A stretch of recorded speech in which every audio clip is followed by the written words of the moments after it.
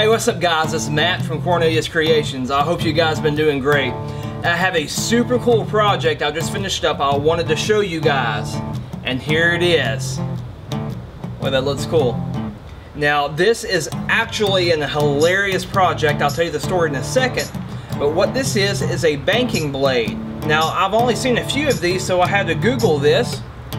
What a banking blade is, is actually a brush clearing tool used for clearing out limbs and different types of brush. And I apologize, I had this whole thing recorded on camera from start to finish and I accidentally formatted my memory card before I had a chance to dump my data back on the computer. So anyway, I apologize. I wish I could have got this whole process on camera for you guys because it was a super fun project to do.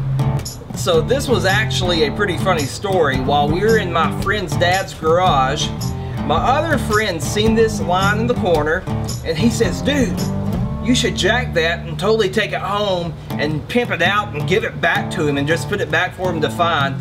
And we all started laughing and I said, you know what, I'm gonna do it. It'd be hilarious. So anyway, I ended up taking this and I'm um, just stripping everything off, stripping the head, doing all the woodwork on this and um, putting the little kind of chevron patterns in here.